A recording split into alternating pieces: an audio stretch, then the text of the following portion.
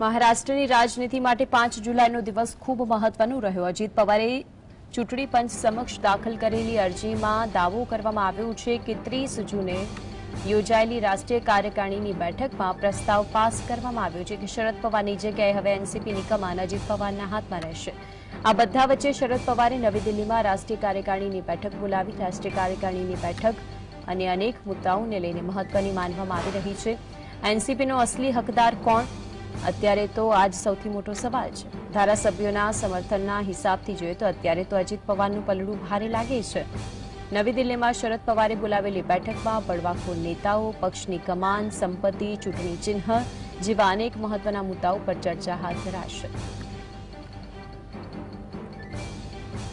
તો દિલ્હીમાં એનસીપીની કાર્યકારિણીની બેઠકને લઈને આખરે સમગ્ર પક્ષની જે કમાન છે, સંપત્તિ છે, ચૂંટણીનું ચિહ્ન છે, આ મુદ્દાઓને ધ્યાનમાં રાખીને ચર્ચા હાથ ધરાવવાની છે. મહારાષ્ટ્રની રાજનીતિ દિવસે ને દિવસે ગરમાઈ રહી છે. શરદ પવાર અને અજીત પવાર બંને કાકા ભત્રીજા વચ્ચેની રાજકીય લડાઈ હવે ચરમસીમા પર પહોંચી ગઈ છે. દિલ્હીમાં શરદ પવારે બોલાવેલી એનસીપીની કાર્યકારિણી બેઠક પહેલા શરદ પવારના નિવાસસ્થાન બહાર મોટા પોસ્ટર્સ લાગ્યા, જેમાં શરદ પવારના સમર્થકો દ્વારા લખાણ લખવામાં આવ્યું હતું કે, સચ્ચાઈ અને જૂઠ વચ્ચેની લડાઈમાં આખો દેશ શરદ પવારની સાથે છે. ભારતનો ઇતિહાસ છે કે દગો કરનારાને ક્યારેય જનતા માફ નથી કરતી. શરદ પવારના સમર્થકોએ લગાવેલા પોસ્ટરમાં અજીત પવાર માટે ગદ્દાર શબ્દનો પ્રયોગ કરાયો. આપને જણાવી દઈએ કે બુધવારે મહારાષ્ટ્રમાં અજીત પવાર અને શરદ પવાર બંને શક્તિ પ્રદર્શન કર્યું હતું, જેમાં અજીત પવારના શક્તિ પ્રદર્શનમાં સૌથી વધુ ધારાસભ્યો હાજર હતા.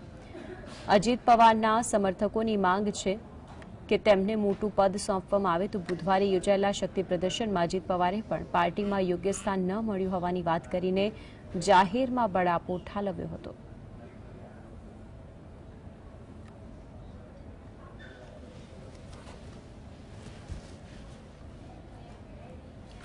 રાજસ્થાન કોંગ્રેસના ત્રીસ જેટલા નેતાઓ સાથે દિલ્હીમાં બેઠક યોજાવા જઈ રહી છે. આમાં ઘણી બાબતોને નક્કી કરવામાં આવશે. આજે દિલ્હીમાં યોજાનારી બેઠકમાં રાજસ્થાનના કુલ ત્રીસ મોટા નેતાઓ હાજરી આપશે. ત્યારે મળતી માહિતી પ્રમાણે સીએમ ગેહલોત જયપુરથી આ બેઠકમાં ઓનલાઈન જોડાશે. આ બેઠકમાં નક્કી કરવામાં આવશે કે કોણ કઈ ભૂમિકામાં હશે.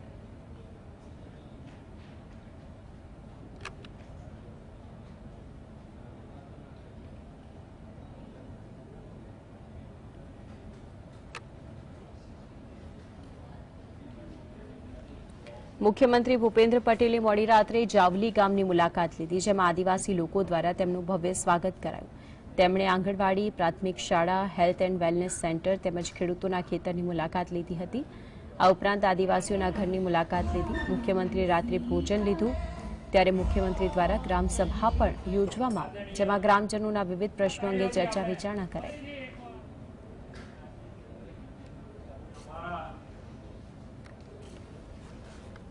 મહત્વની વાત છે કે આદિવાસી વિસ્તારની મુલાકાતે કાલરોજ મુખ્યમંત્રી ભૂપેન્દ્ર પટેલ હતા. તેમણે રાત્રે ભોજન પણ ત્યાં કર્યું હતું. ગ્રામજનોના જે પ્રશ્નો હતા તે લોકોની સાથે બેસીને એક સામાન્ય માણસની જેમ સાંભળ્યા હતા. હોસ્પિટલોની અંદર કઈ કઈ સુવિધાઓ છે તેને અંગે વાતચીત કરી હતી.